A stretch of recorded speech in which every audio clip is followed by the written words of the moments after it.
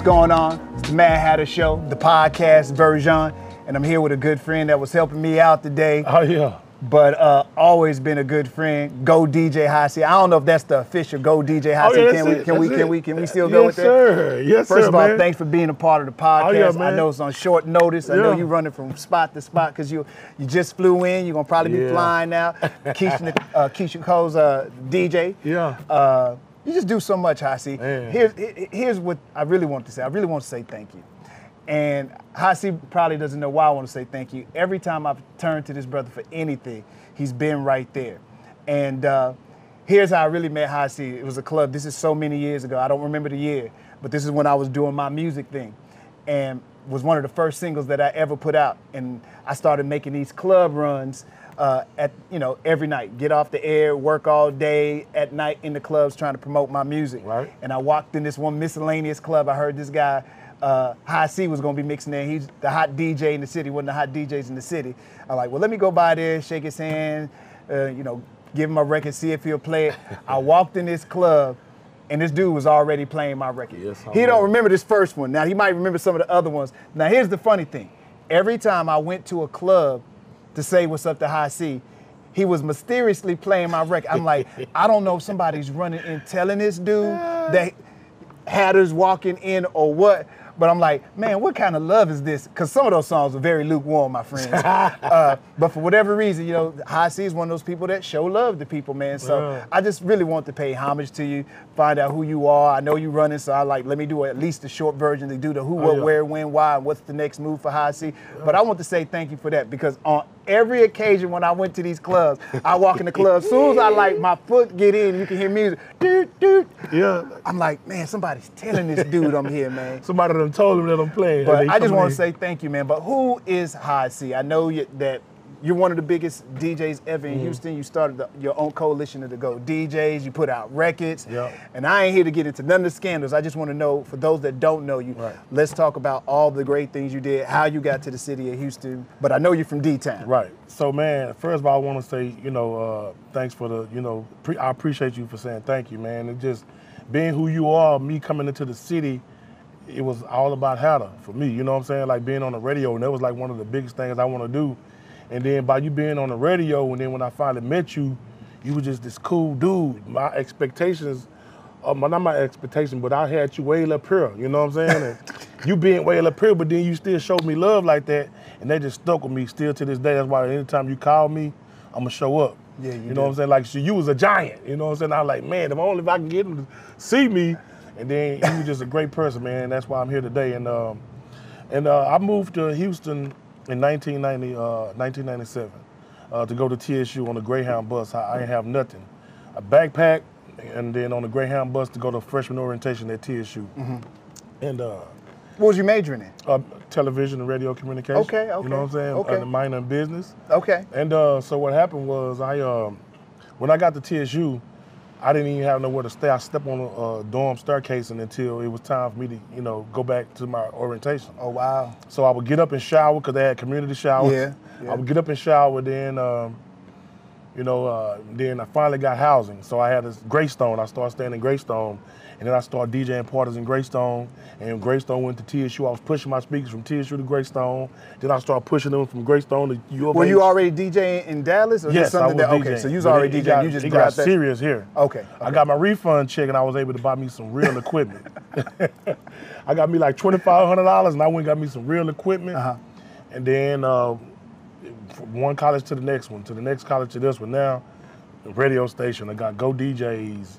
And how'd you come up with doing the Go DJs? Because this is a coalition that uh, Hi-C started with a whole bunch of DJs. And Mm-hmm. Right. They started. I don't know if it's like a record pool. I don't it know how you would it describe started out as a record pool, but it, it it's well, it actually started out as me booking the DJs because Reggie Reg was my Reggie Reg, yeah, yeah, Reggie yeah. Reg, man. He didn't actually name it Go DJ. Oh wow.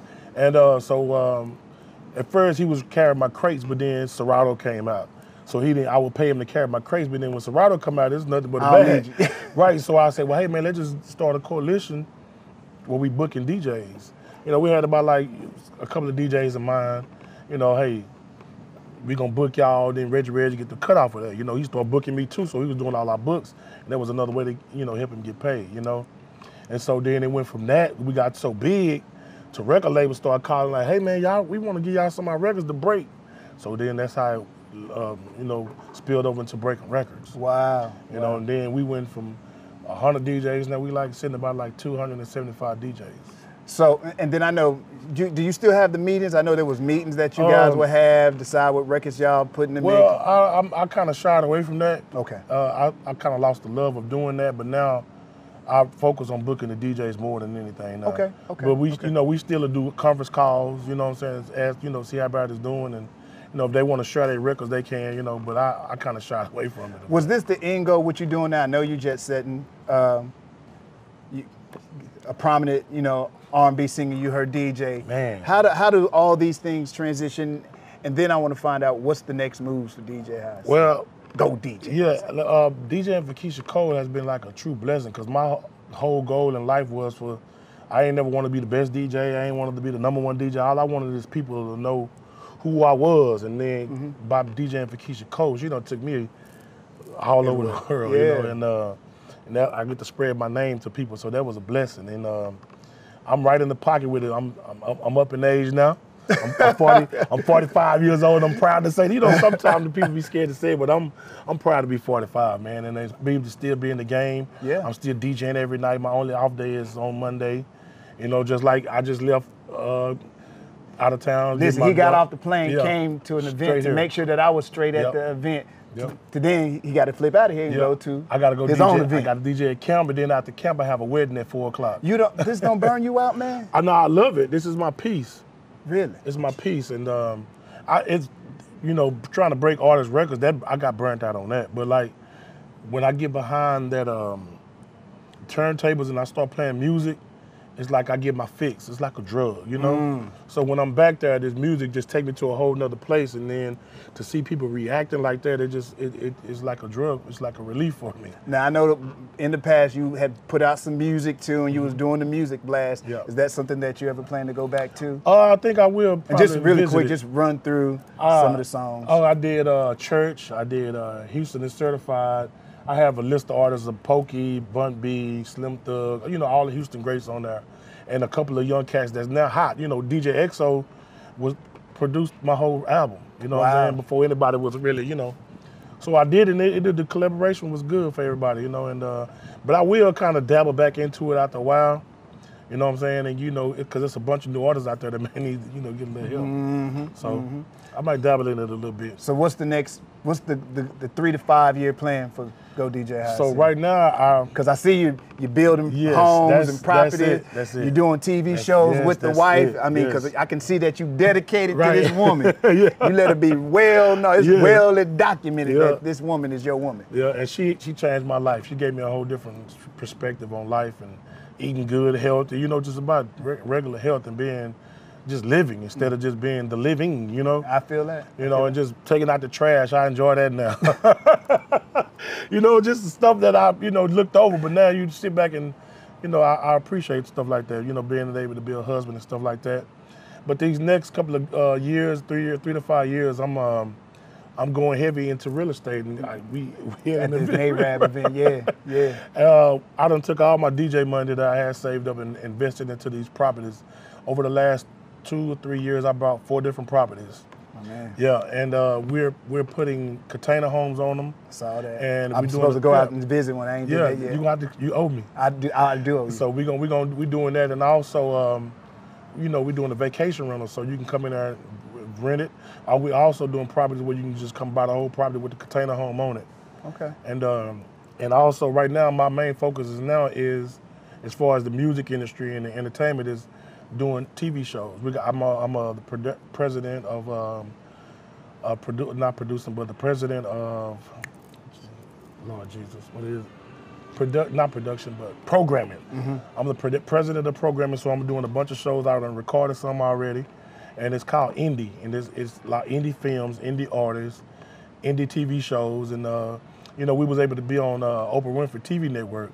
So after that, that just kind of even sparked us even more Okay. to even just run our way into it. So that's my next three to five years. All know? right, man. Don't forget me, dog. Oh, I'm, I'm anytime you call me, I'm coming. You the giant. You there, man. Whenever you call, He be there, man. I'm, I'm coming. Look, we we doing the abbreviated because I'm gonna get a longer one where I see when we can really sit down and chop it up and sit back and take our time. but I know that he is on the move and he got events and I don't want to keep him away from it. But I did want to take this time while it was a beautiful day. It is a beautiful day right here on the lawn. So we can so we can just chop it up. Yes, sir. So he can say hello to y'all people, and uh, I can't wait for y'all to see him again. Oh, And yes. All you gotta do is follow him, all your socials. Uh, it's Go DJ Hi-C on Instagram. My thread, my Facebook is uh, Craig Go DJ C Williams, and uh, you know y'all, you know our Instagram, my, my uh, YouTube is the Cool AC, the Cool AC Show. Y'all look us up and check us out, man. Me and my wife.